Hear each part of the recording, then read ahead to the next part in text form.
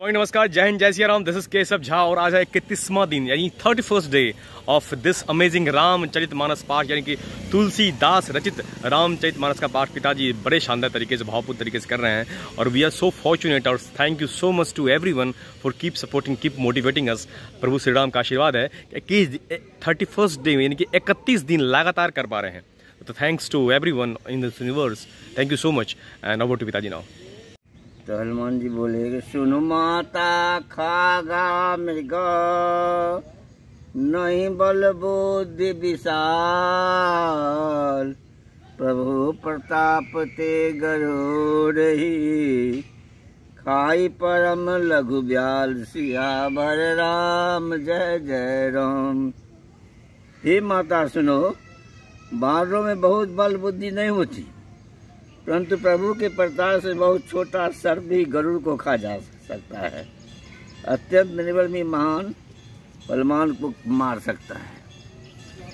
परम संतोष सुनत कपिवानी, और भगति प्रताप तेज बल सानी सीताराम, आशीष जिन राम प्रिय जाना हो तात बलशील निधाना। भक्ति प्रताप, तेज बल से सनी हुई हनुमान जी की वाणी सुनकर सीता जी के मन में संतोष हुआ।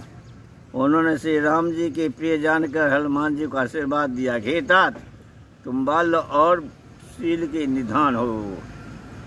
अजर अमर गुण निधि सुत हो, सीताराम, करहूँ बहुत रघुनायक छो, सीताराम। करहूँ कृपा प्रभु अर्श सुनिकाना सीताराम निर्भर मन मगन हनुमाना हे पुत्र, तुम अजर। बुढ़ापे से रहित अमर और गुणों के खा जाने में हो। श्री रघुनाथ जी, तुम्हारा बहुत कृपा करें। प्रभु कृपा करें। ऐसा कानों से सुनते ही हनुमान जी पूर्ण में प्रेम में मग्न हो गए।